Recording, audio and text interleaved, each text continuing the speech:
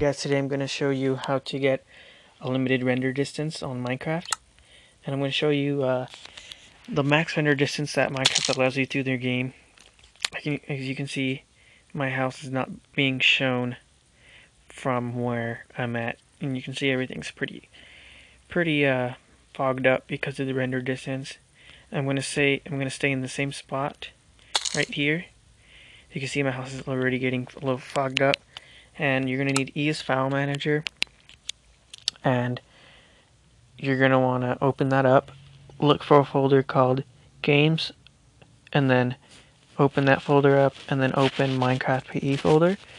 And then lastly you're going to want to open up options.txt and then you're going to click the top right button to edit and look for where it says render distance and change the 2 to 0 and then save it and then open up Minecraft Pocket Edition again and you should have a limited render distance and you'll see the difference you'll be able to see my house crystal clear see there's absolutely no um, render distance so the world will load and you can see the world from a far distance instead instead and it looks a lot better. You can see your surroundings and everything.